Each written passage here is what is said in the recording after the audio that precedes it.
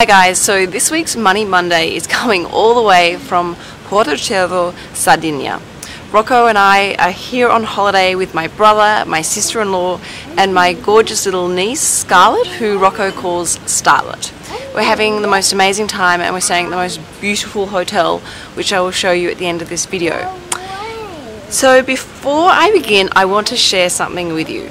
Now, my channel is all about educating you, um, inspiring you, and motivating you to make better decisions in the way that you use money in your life and, and build money in your life and help create more financial freedom and harmony in your life. And I'm a big believer in leading by example. And whilst I am, I think, very responsible with money, I'm very good at managing my money and, and looking after it and, and investing it and building it and protecting it. I'm human and I sometimes make mistakes. But because I always want to be as open and authentic and honest with you as possible, I want to share something with you. And I actually made a mistake. And by sharing this mistake with you, I am hoping that you won't make the same mistake as me and you'll benefit from my error. So, this video is um, all of the things you need to, or I should say, some things you need to think about um, when taking out travel insurance. Travel insurance is so important. If you can't afford travel insurance, you definitely should not be going on holiday.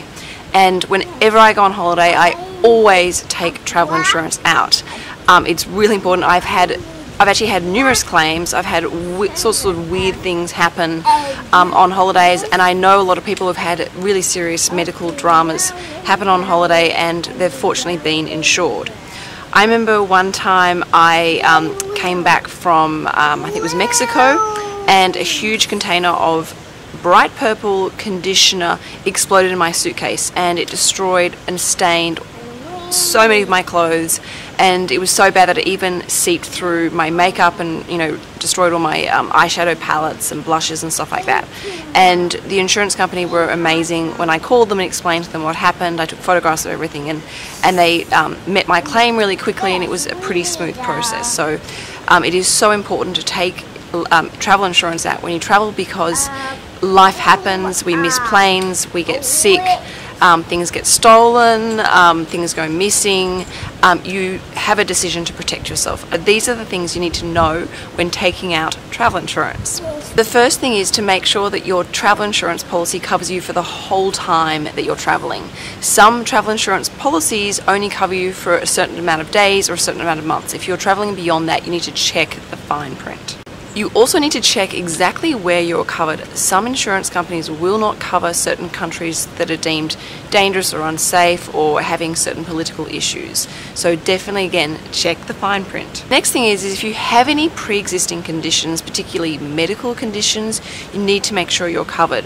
For example, I remember once we were on a family holiday and my father um, had a serious problem with his eyes and um, we had to all basically pack up and come home and because my father had a pre-existing eye problem, um, his insurance um, claim could not be met. So, but we knew that at the time, and so, and we took that risk. Um, that we took that as, a, I guess, an informed risk. But it is so important if you have a pre-existing medical insurance, uh, pre-existing medical problem. Not only check the policy, but also give the insurance company a call before leaving the country. The next thing is, is make sure your insurance company is covering you for all the activities you're doing. If you're going on a very um, uh, ambitious holiday with lots of you know dangerous activities um, like skydiving or bungee jumping and things like that. Um, again, check the fine print that you're covered. The other thing is, is when you're taking out insurance policies before you actually buy it, check how much you're actually covered for. Especially when it comes to personal belongings, you know they might have a very low cap as to how much you can claim. And when things do go missing and you add up and see how expensive these things are up to, you want to make sure it's got a, a fairly high, um, I guess, ceiling as to what you can claim. The next thing is about negligence and responsibility. If you submit a claim and it's because you were either being negligent or potentially under the influence of um, alcohol, and the insurance company knows that, they have the right to decline your claim, which can be really serious. And particularly if it's a medical um, claim, those medical claims can be incredibly expensive, especially if you need to have a, a plane that flies you home. So again, not only should be responsible whilst traveling, but also be aware of the limitations of what your insurance company is is fairly covering you for. Next thing is if anything happens, make sure you report it immediately. So, for example, if you have an accident, make sure you obviously go to a hospital, get all the reports, and call your insurance company immediately. If something is stolen, make sure you lodge a, a police report within 24 hours of it happening so that it's all very, um, there's no sort of question of fraud for the insurance company. Second last thing is try and take your insurance policy out when you book your holiday. Now, by doing that, if something happens, for example, like you lose your job or you get sick and can't go on the holiday, you can at least be insured under the cancellation.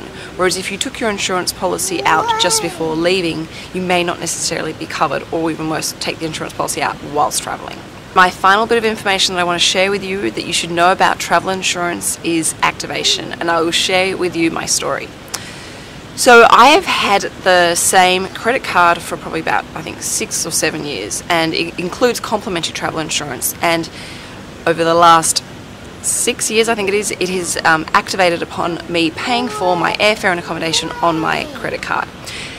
I assumed it was active, and um, recently they changed the policies and procedures, and you actually have to go and manually activate your insurance by entering in through your internet banking the dates you're traveling, all the countries that you're going to, and the people that you're traveling with. Now, me being busy and not reading the fine print and um, just making a very silly mistake, didn't actually activate that cover.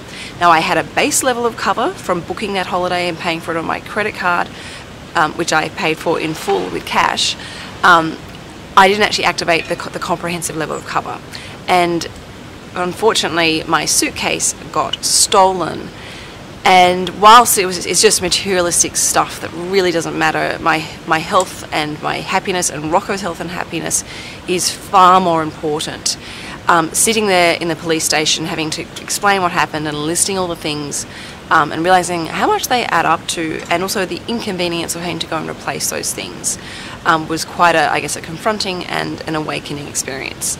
And I discovered that I was not insured. And but fortunately, the Sardinian police were incredible and so caring and so attentive. And amazingly within the next couple of hours they managed to find my suitcase. And fortunately I got all well most of my clothes back but all my valuables and um, designer um, products and, and accessories pretty much most of them were gone um, including my camera so um, obviously, you know, a disappointing thing to learn and a very expensive lesson to make. But I cannot stress enough how you must take travel insurance when traveling both both domestically and internationally.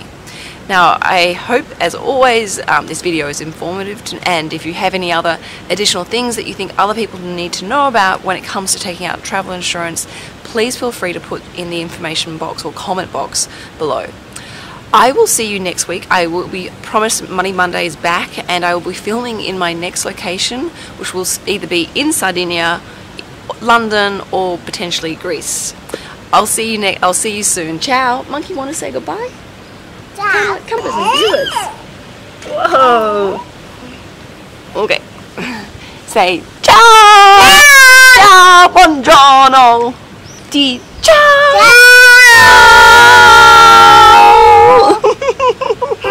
Mm-hmm.